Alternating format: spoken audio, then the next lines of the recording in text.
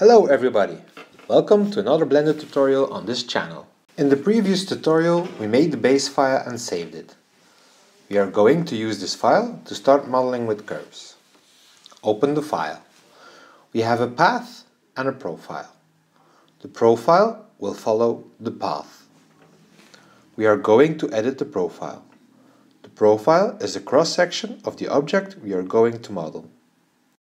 The curve is made out of two points. We call them handles. With these handles we can shape the curve. After experimenting with curves, I found this technique to be the best to model with curves. With the profile curve selected, tab into Edit mode. Press V to access the handle menu. In the handle menu, select Vector. Vector is the easiest way to handle curves. Now we can start modeling. There is one rule you need to keep in mind. Never ever make a 90 degree corner. Use this technique. I call this the three points technique. This will help later when we are going to shape the curve.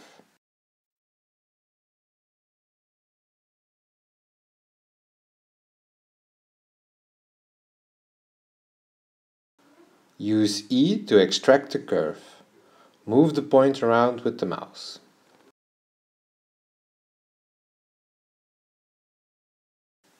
Once we have the vector curve, take the handles and start shaping the curve.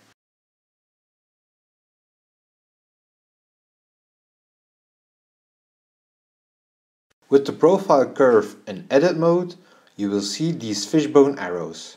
Turn them off in properties, curve by selecting 2D. One of the big pros is that there will only be geometry where the curve needs it. This is a major advantage. Feel free to experiment with this setup. I hope you learned something. If you like this tutorial, please like it so others can see it also. If you have any questions, put them in the comments. I am more than happy to answer them. You can also subscribe to this channel or share this video on your social media. Thank you for watching and see you next time.